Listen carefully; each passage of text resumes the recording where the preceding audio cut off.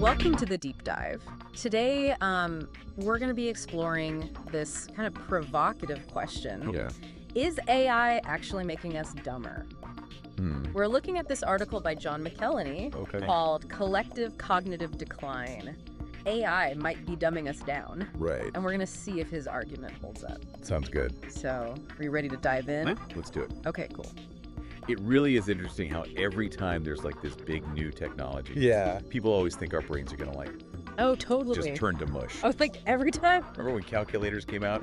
Everyone thought we'd forget basic math. Oh, yeah, right? we would forget 2 plus 2. Exactly. But McElhenney's going a little further here. Right. He's arguing that AI, just like smartphones before it, are taking over all these tasks that used to require brain power.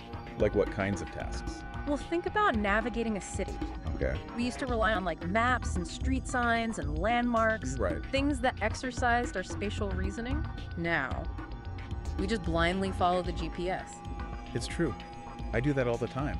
And some studies suggest we might be losing that skill because of it.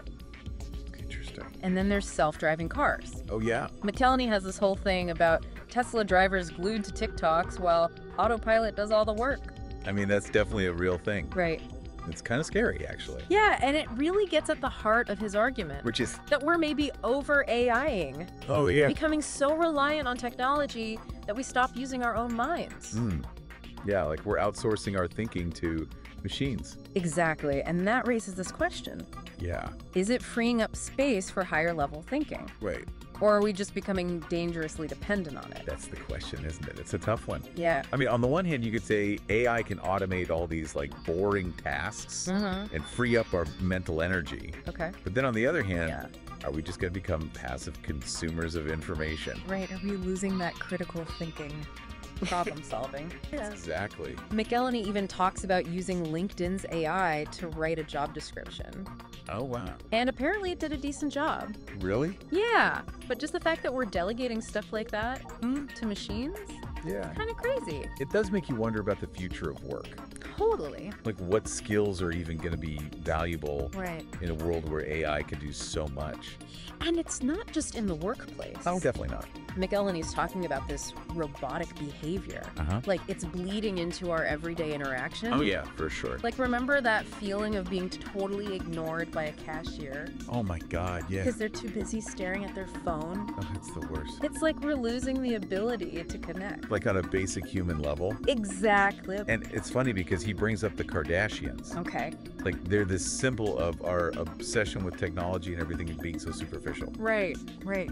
And he draws this parallel between our fascination with their perfect digital lives and our reliance on AI. Okay, I see what you mean. It's this idea that both lead to this disconnect from the real world. Like a collective cognitive decline. Yeah, exactly. So are we heading towards a future where everyone's just glued to screens, Mhm. passively consuming AI content and forgetting how to talk to each other?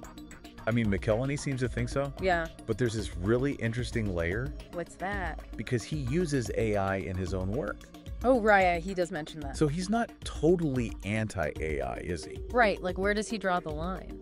That's a good question. Let's dig into that. Okay. Sounds good. He talks about using AI for creative stuff. Yeah, like that poetry project inspired by Walt Whitman. Right, exactly. so it's not like he's saying all AI is bad. Uh huh. It's more about finding that balance, Yeah. you know, Okay. like where we can use its power but not let it take over. So, not rejecting it completely, No, not at all. but being more conscious about how we use it. yeah, Right. exactly. And that means like being aware of how it works Oh. and how it's shaping the world around us. Right. Like understanding all the different types of AI out there. Yeah, there's machine learning, deep learning, all sorts of things. And they all have different impacts on us. Exactly. It's like with any tool, Right. right? It could be used for good or for bad. It all depends on the human behind it. Exactly. So McElhenney's urging us to be more proactive Okay. about how we integrate AI into our lives. Rather than just letting it happen. Yeah, like we need to make conscious choices. He even suggests like a digital detox, Oh, wow. like shutting down our electronics more often, Hmm. doing things that require like active thinking Okay. and prioritizing human connection. I gotta admit that digital detox thing sounds kind of nice. Yeah. But how much can we really disconnect these days? It's a good question. It's not about becoming like a Luddite. Right. Not rejecting all technology. Exactly. It's about finding a healthy balance, Okay. setting boundaries, being mindful. So maybe not unplugging completely, but just being more aware of how we're using our tech. Yeah, and choosing to engage our brains. Like doing stuff that requires critical thinking. problem solving creativity. Right. It's almost like we need to train our brains. I like it. We train our bodies. If you don't use it, you lose it, right? Exactly. And when it comes to AI, Yeah. I think the challenge is making sure it complements human intelligence, Uh-huh. Not replaces it. That's a great point. You know, earlier we were talking about Yeah. how AI could free up our mental bandwidth for higher level tasks. Right. But what if we get so used to AI doing the hard stuff Yeah. that we forget how to do it ourselves? That's a scary thought. It is. And it all comes back to that idea of active engagement. Yeah, We can't just become passive and let AI do everything. We got to keep pushing ourselves, keep learning. Absolutely.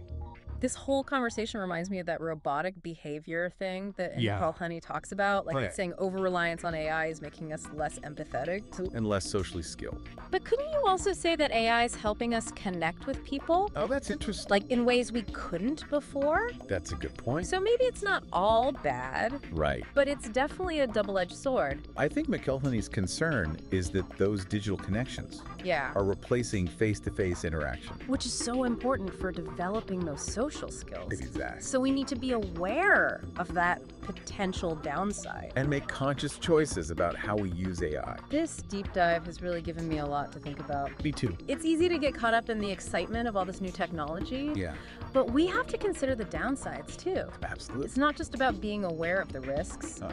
but about taking steps to avoid them, like maybe trying that digital detox, Oh, yeah. turning off the phone, stepping away from the screens. And reconnecting with the real world. Our brains are like muscles. Use them or lose them. So let's challenge ourselves. Okay. Let's do things that require critical thinking.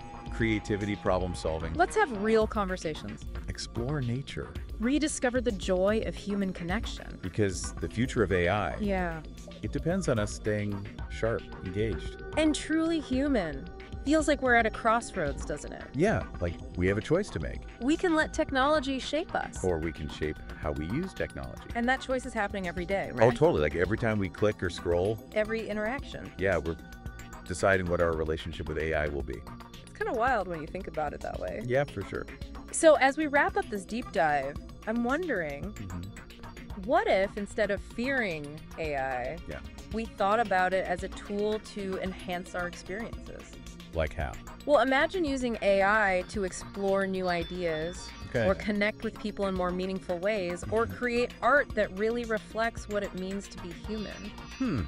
That's a cool thought. Right, instead of a threat. Yeah, It could be this amazing tool. as long as we acknowledge its limitations.